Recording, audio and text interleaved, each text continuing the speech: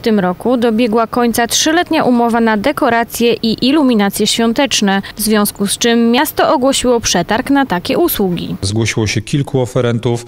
Wybraliśmy firmę, e, która em, będzie z nami współpracować przez najbliższe 3 lata.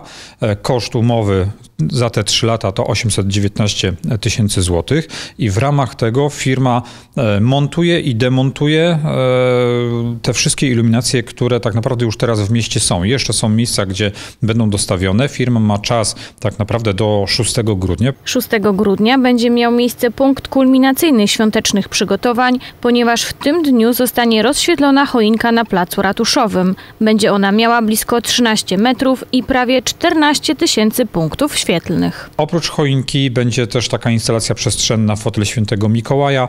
E, O tym, jak wyglądają te, te inne świąteczne ozdoby, e, już można się przekonać, wychodząc wieczorem na miasto, ponieważ bardzo dużo już ich jest powieszonych i już wieczorami świecą. Świecą już między innymi ozdoby lamp, ramki pocztówkowe, w których można zrobić sobie zdjęcie, czy anioły przy kortach tenisowych. 6 grudnia oprócz choinki zostanie wystawiona skrzynka na listy do świętego Mikołaja. Tak jak co roku e, można wrzucać tam listy do świętego Mikołaja.